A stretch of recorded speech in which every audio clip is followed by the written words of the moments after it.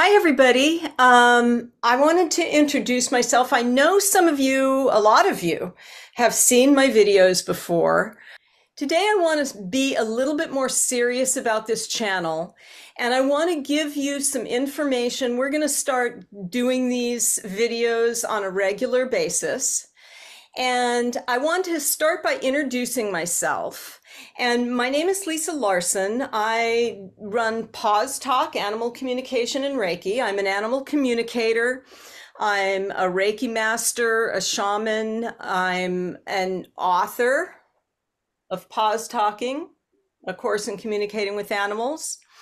And this channel is going to be not so much about how to talk to animals but but the things that i've learned about animals so that you can learn to understand your animals better and under understand animals in general better. So my the thing that's exciting about this is that i'm going to have a partner in this and we lovingly call him podcast pete and I'm going to introduce him to let him introduce himself. So, Podcast Pete, take it away. This is Podcast Pete. I'm an animal communicator. Unfortunately, I only went one way. I always thought if I made a communication to them, that was it, we're done. Go over here, sit down. Time to eat. You want to go out? Unfortunately, uh, you know, this didn't represent me as well as it possibly could have. And I've been lucky enough to be invited to join in this podcast. And we'll we're all going to learn together, apparently. Uh, some of you will learn faster than I, and some of you will be at my speed, but we'll enjoy it. I'm glad to be here. Fabulous. Okay. Well, Pete, you want to take it away? We're going to start with um, what animal communication is. I think some some people don't really understand what animal communication actually is, what I do for a living.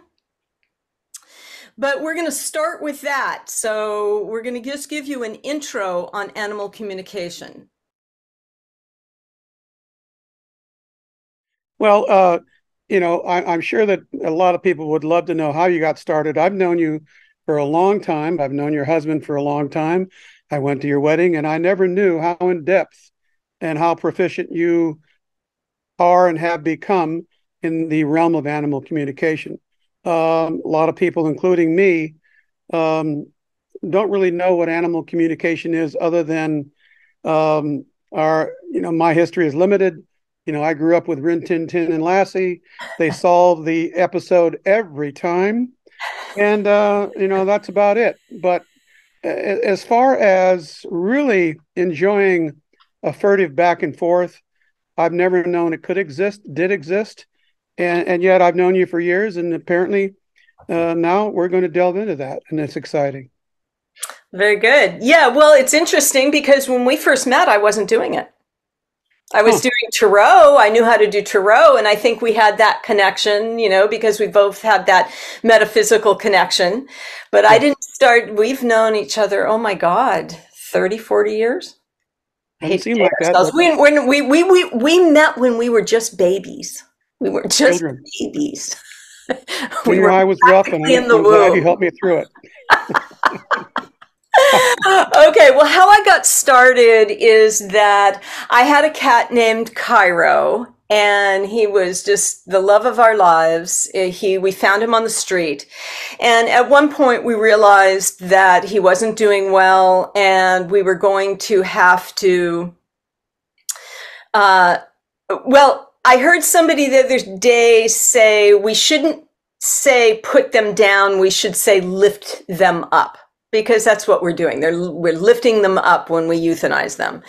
But we had to make that decision to lift him up and euthanize him for his own good so he wouldn't suffer. And I had called a woman who had helped me rescue him. And she immediately says, Oh, well, I'm sending you an animal communicator. I'm sending you somebody over to help you. And at that point, I had heard about what it was. Like I said, I had done Tarot. I had, you know, was into metaphysics and I had seen it. I had even thought about getting a animal communicator for our cats, but like anybody else, I didn't know who to call, who to trust, or anything else. And she came over and she was so helpful and gave us such peace and such comfort that after it was over, I thought, you know, if I could do that for other people, that would just be the greatest thing in the world. And it is. And we, she and I became friendly and she found out that I did tarot and she found out we had other similarities. And she said, you know, if you can do that, you can do this. So I started reading uh, just you know uh, my book wasn't out yet obviously. So i picked up a couple of books. At that time there were very few books out uh, about how to do it. And then i chose someone to take i chose several people to take classes from. I've taken classes from carol gurney. I've taken classes from marta williams. And uh, little by little, I just practiced. I started a forum and just did oh my god i did five six animals a day five six days a week. And i would just sit and tell them what it was. And it wasn't anything serious but it was i did that for about three years before people started telling me you know you're really good. You really need to be doing this professionally. Uh, and after that we had made a move and I, I, I used to be a college professor and I lost my job in the crash of 2008 and just never looked for another job because people just at that point it was, it was almost like it was meant to be because people at that point just started calling me and I've been doing it ever since. So it's it's just something I love. I specialize in animals and sp- speaking to animals in spirit because I'm a psychic medium for humans as well and and and Cairo. I always credit Cairo for helping me push me in that direction. So your profession blossomed, and like like any other beautiful rose, there has to be ingredients, there has to be reasons, there has to be factors, there has to be the fertile earth, there has to be the sun, there has to be the rain, there has to be hardships, there has to be the little struggle is good for a plant. There has to be reasons why the rose is. And in this case, what would you say are the reasons for your business and your profession and your help with other people to blossom? So in other words, the the reasons that people call me? Yes. Yeah, uh, th- for a number of reasons. Well, like I say, I talk to animals in spirit. So a lot of people call me after their animals have passed. Some call me to help their animals pass because I work with animals who are, who are fatally ill and seriously ill. Uh, but they also call me for behavioral problems. They call me if their if their animal is having a problem with inappropriate elimination or um, aggression or anxiety, uh, things like that, things to help the animal feel better, helping people understand their animals better. I, I had one woman who called me. She had she had, a horse, and she had him for about a year and a half. And this horse was just kind of really agitated all the time and just angry all the time. And as I was talking to him, I asked him, "Well, your mom really loves you and wants wants to have a relationship with you." And he kind of you know, did one of these things like, "Yeah, oh yeah." And I said, You don't think so? And he goes, Well, I, I, said, Doesn't she come and feed you? Doesn't she brush you? And he goes, Yeah, she comes and feeds me and brushes me and cleans out my stall. And it's all like a chore for her. She comes, she does it, and it's all a chore for her. And as I was on the phone telling her this, I could hear her start to cry on the other end of the line. And she said, You know, he's exactly right how am I expected to, ex- how do I expect him to love me and show me that kind of compassion when I'm not doing the same to him? So I gave her the suggestion of going in and doing it with a purpose, you know, sh- brushing him with a purpose of, I'm doing this out of love, feeding him, I'm doing this out of love. And then just sitting with him and sitting in his energy and connecting with his energy. And a couple of months later, she emailed me and she says, I have a whole new horse on my hands. We have a, a completely different relationship. So that's so very satisfying in that respect. My hope is that I help people understand animals through their perspective so that they can look through their eyes. I think it's amazing that that, that people have an opportunity to even understand that this sort of level of beautiful communicating even exists. We've all been around animals. We've all have considered ourselves communicators, even though it's just been one way send. And I hope you get it. And I tried and good enough, and I got to go do something else. And you know, I you know to to understand that there can be an interchange, to understand there could be a deepening, and to to feel that there can be a furtherance uh, uh, of a relationship with a non-speaker. Hmm. Uh, you know, it, it, this is this is all so very new to me, and, and, I'm sure to a lot of people. So it's exciting that uh, this can be not only explained but also maybe illustrated and maybe even demonstrated, and possibly help people get a little deeper into their love of their animals. Absolutely. And it's interesting you said uh, about a non speaker because I had uh, spoken with animal, an animal and spirit for this one woman, and she took it to the next step and she called me later on. She was so happy with the reading. She called me later on and asked me, she said, You know, I have a, a son, a 32 year old son who's nonverbal and autistic. And she wondered if I could connect with him. And so I I said, sure, I'll give it a try. And and I did, and it and it helped immensely.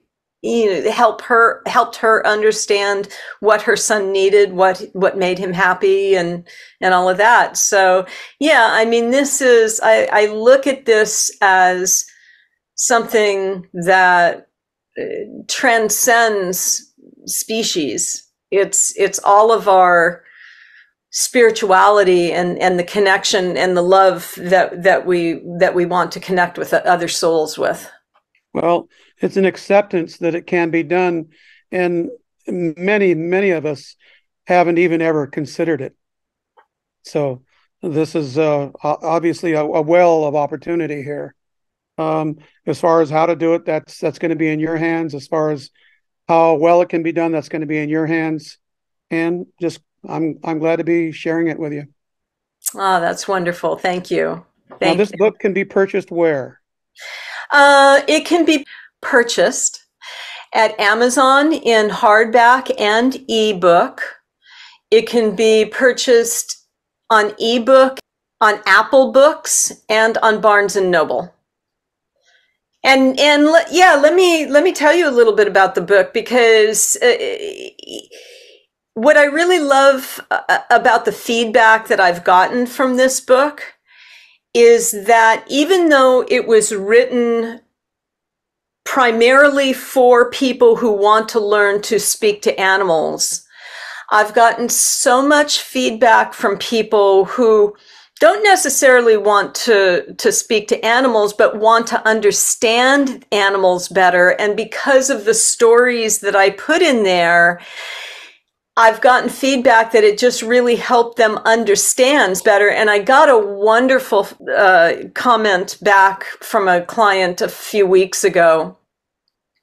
One of her cats had passed, And this was a long term relationship. And believe me, I feel like I develop relationships with the animals as well as the humans, as well as their guardians and their, their, their moms and dads. But anyway, after the session was over and she was really pleased, she said, I just needed to tell you that one of the reasons I was able to make the call to the vet was because I had picked up your book. She says, I, I read your book when it first came out three years ago, but I remembered the uh, chapter on animals and spirit and the transition and helping them transition in euthanasia. And I went back and read it and reading that gave me the insight and the courage to call the vet at the right time. And that just made me so pleased. I, I, felt so honored that that I could help her in that way. It's a very difficult call to make.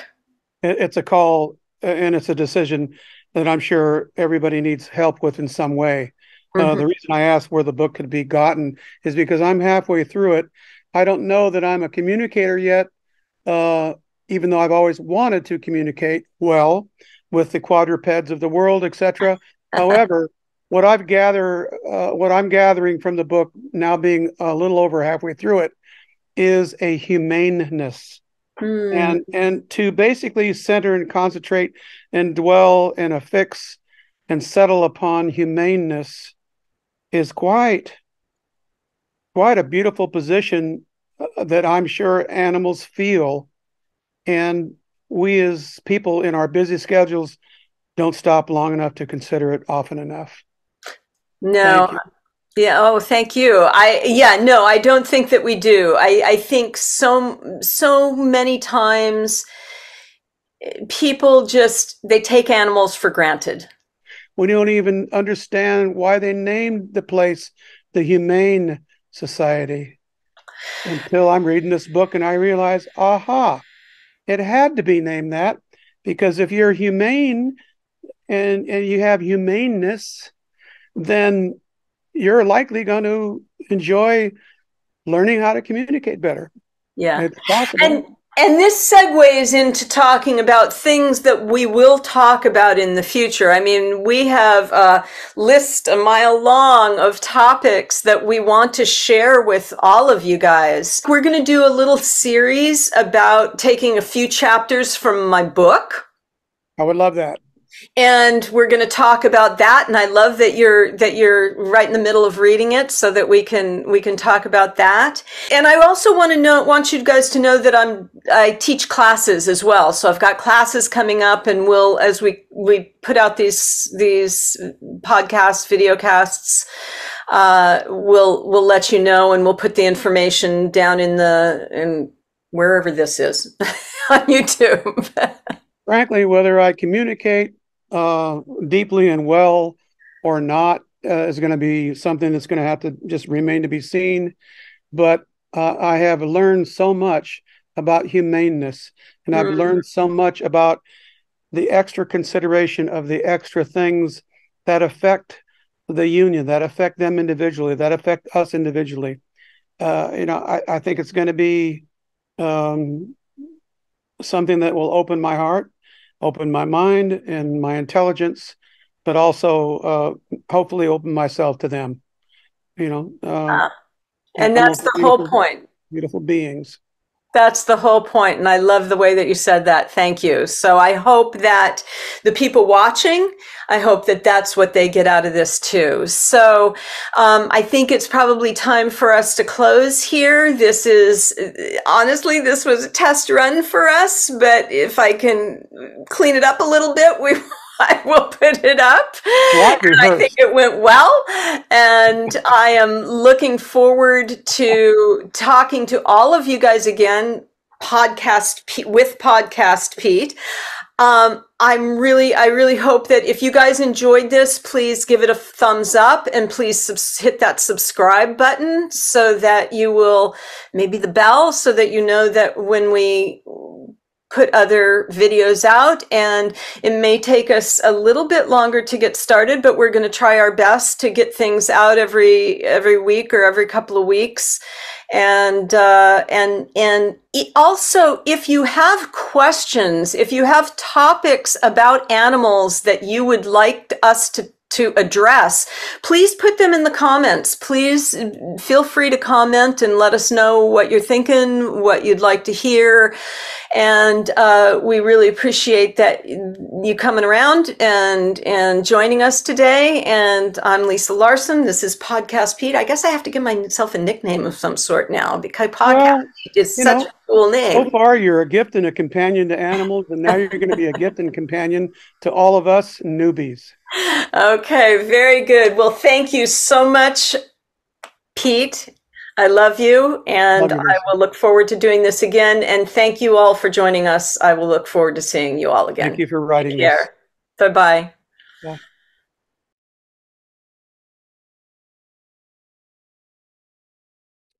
This is Podcast Pete, and now we've come to my favorite part of the segment when I get to ask questions about what's on my mind and possibly on the minds of others about the animal experience. Number one, having started this book, I realize I've been more animals in the book than I have been the people that had the animals, as far as possibly having feelings of maybe being a little bit abandoned, being a little bit neglected, being a little bit uh, dealt with sternly when maybe some understanding could have uh, benefited me better. Uh, and and again, you know, we come back and, and, we'll come back again and again to humaneness. Uh, I have to consider that animals, uh, in their very nature, are possibly born and created humanely, and they're humane. And maybe we have to get out of our own little small worlds sometimes and join them in it. Uh, you know, I mean, I've meant well, uh, you know, with animals uh, I've tried to give them gifts. Uh, I've, uh, I figure that's a good entree into possibly a bond, uh, but I had no clue that they actually can communicate back on levels other than uh, do I look hungry? Hungry because I am. well, you know, what you said was just is so important about you being the animal because that is exactly what I am, what I strive to do in helping my clients understand animals' experiences through their eyes, through their perspective. And it's so important because when you do that, when you put yourself in that place, because I will do that a lot of times to help people understand, think about, like I'll say, think about if you were uh, living with someone and uh, you had a wonderful life with them and then they met somebody else and then you got shoved off into another bedroom or you got shoved off to live in the garage how would that make you feel not so good, you know? So if we put ourselves in the, in the positions of how we treat animals with most times without even thinking, then all of a sudden they become more sentient to us. They become, those emotions become more real to us because they don't experience emotions any differently than we do. They just express them differently. I suppose that's really the key, and the lesson is that we have built in potentiality and the possibility of more access to them to enjoy more things with them on levels other than are you hungry? Do you want to go out? Um, and stop barking i've got to go to sleep. So or or stop whining or whatever. Uh, and and and this interaction is you know is new to me. Uh, you know, I, I was always happy with what I was doing, not realizing I wasn't doing anything. I was just kind of like walking the same path, but never interacting and and enjoying uh, a deeper communication. Yeah. And that deeper communication is so important. And it's what I realize. It's, it's what, what I call a soul contract. And a soul contract is when we're on the other side in spirit, we make agreements with one another that we're going to come back into the, into a physical lifetime and, and teach each other things through our experiences, our relationships, our behaviors. And so often it is my firm belief, and, and, I'm not saying that mine is the only right belief by any short, by any stretch, but is my firm belief, having done this, this work, that animals come to us for a reason. They come to teach us things. They are our teachers and we are theirs. So you, when I talk to somebody, when I talk to an animal on the other side, one of the, the, the main questions I ask on each side is, what did you come into your parent's life to teach them and what did your parent teach you in this lifetime? What did you come into this lifetime to learn? Yeah. And and it's it becomes so much deeper. And as a as a psychic medium as well because i talk to humans on the other side what i find is that with with a mediumship reading with humans a lot of the time the evidence is the message itself because human lives are so large. We've got work we've got travel we've got friends we've got family extended family and all of these other things that we do but when you think about it animals we are their entire life we are their entire world. So I can go into an animal reading and I can get information, but that will be, I can do that fairly quickly because their lives are so small. But once, and I'm talking about talking about to an animal in spirit, but once I've gotten past that evidential information that helps the person know that I'm talking to their animal, there are times when animals can give the most amazing spiritual messages. And I, I, did a talk on this at a spiritualist church, and I can link that someplace here or here, wherever it is on YouTube that I do that.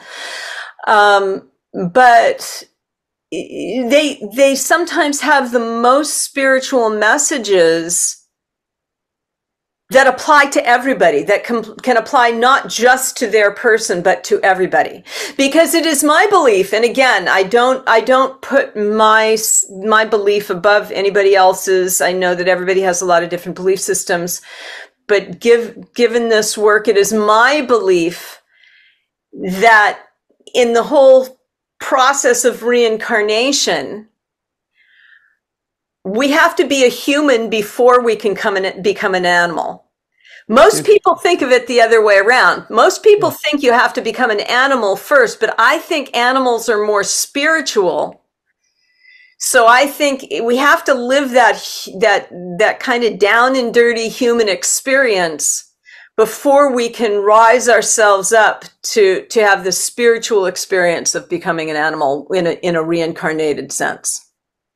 Well, the term reward is, is going to assume some new dimensions um, from what the norm is, as, as far as just the not the superficial but the superficial uh, as far as things and and places and um, uh, treats and uh, you know and, and and comfort because communication is a whole nother level above and beyond that as, as far as something that rewarding yeah, really is. So let's let's stop it here. Um, if you want to hear more about animals, if you are enjoying listening to me and podcast Pete, uh, please hit that like button, hit that subscribe button, and uh, join us again. And we will be talking about all sorts of different topics and you can if you're interested in my book you can get it at amazon. I'll put some links down below for where you can get the book and and if you and please comment if you if you if this inspires you what you think about animals if it inspires you in any way please let us know what you're thinking. And uh, and let us know some other topics that you would like to hear from. This this right here was just kind of a, a back and forth that we wanted to put out there but we're going to have some very focused topics uh, some from the book, some just from my experiences, and all all hoping to give you the experience of of helping you understand animals better.